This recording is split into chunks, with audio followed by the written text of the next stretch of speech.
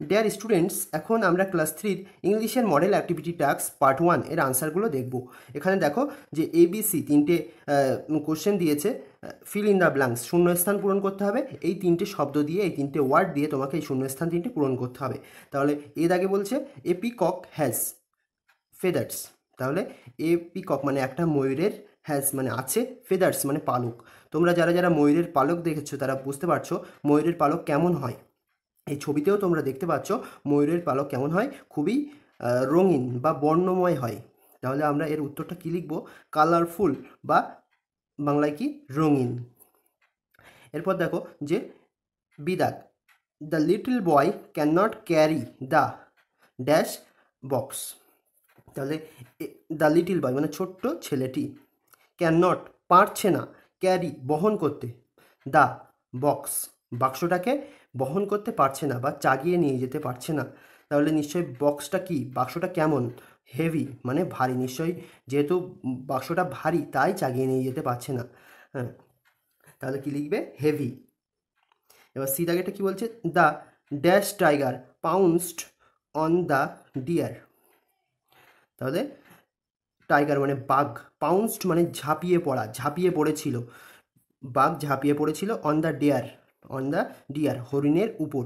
তাহলে বাঘটা নিশ্চয়ই কেমন ছিল? হাংরি, ক্ষুধার্ত ছিল বলে সে এই হরিণের উপর ঝাঁপিয়ে পড়েছিল। তাহলে কি লিখে দেবে এখানে? H U N G R Y hungry.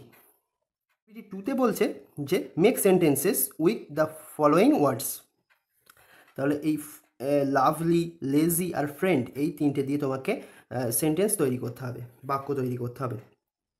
তাহলে ক্লাস থ্রি হিসাবে আমি খুবই সহজ বাক্য তৈরি করেছি। দেখো লাভলি দিয়ে কী লিখেছি? ইউ আর সো লাভলি তুমি খুবই সুন্দর, তুমি খুবই সুন্দর।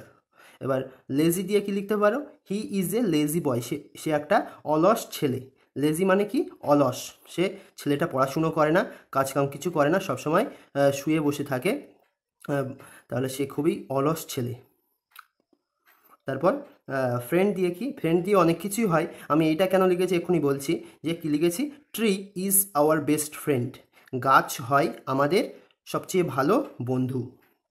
তাহলে এই, এইটা তোমরা সবসময় মাথায় রাখবে যে তোমরা এই ছোটোবেলা থেকেই গাছকে কিন্তু ভালোবাসবে।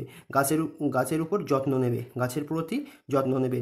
সবসময় চেষ্টা করবে গাছ লাগানো। ফুল গাছ হোক বা বিভিন্ন ফলের গাছ হোক, সেগুলো লাগাবে। কারণ পরিবেশের, আমাদের পরিবেশকে ভালো রাখার জন্য সবথেকে দরকারি কিন্তু গাছ। এটা এই ছোটোবেলা থেকে এইসব বিষয়গুলোর উপর মাথায় রাখবে। এবার অ্যাক্টিভিটি থ্রিতে কী বলছে? যে এই একটা তোমার ছবি দেওয়া আছে। এই ছবিটা এঁকে দেওয়া আছে, তোমাকে কি করতে হবে? রং করতে হবে। এবার এই রংটা কোথায় কি রং করবে? তার ইনস্ট্রাকশান দেওয়া আছে। তার ইনস্ট্রাকশান কোথায় দেওয়া আছে? এই পাঁচটা ইনস্ট্রাকশান দেওয়া আছে, সেই অনুযায়ী তোমাকে রং করতে হবে। তোমাকে কালার করতে হবে। যেহেতু আমার কাছে রং পেন্সিল নেই, তাই আমি এটা রং করতে পারছি না। আমি তোমাদেরকে দেখিয়ে দিচ্ছি কোথায় কি রং করবে, সেটা তোমরা রং পেন্সিল দিয়ে সুন্দর করে রংটা করে নেবে। দেখো, যে বিগ অফ দ্য বার্ড মানে এই পাখির ঠোঁটে পাখির ঠোঁটে এই অংশটাই, এই অংশটায় কী রং করবে? রেড, তোমাদের রং পেন্সিলের। লাল রংটা এখানে করে দেবে, এইভাবে লাল রং করে দেবে। এবার বডি অফ দ্য বার্ড, এই যে সাদা সাদা যে অংশগুলো দেখতে পাচ্ছ, পুরো বডিতে কী রং করে দেবে? লাইট গ্রিন, হালকা সবুজ যে রংটা আছে তোমাদের, সেই রংটা এই পুরো বডিতে করে দেবে। তারপর লেগস অফ দ্য বার্ড এই পাখির এই পায়ে, পায়ের এই অংশটা, এই পুরো এখান থেকে এই অংশটা কি করে দেবে এই পা যে অংশটা। এখানে কি করবে? ব্রাউন বাদামি রংটা করে দেবে। এবার bark of the tree. Bark of the tree মানে হচ্ছে গাছের ছাল গাছের ছাল। এই যে অংশ এই ডাল যেগুলো দেখতে পাচ্ছ, সেই ডালে ডালে কী রং করে দেবে? গাছের ছালে সেখানেও ব্রাউন বা বাদামি রং করে দেবে।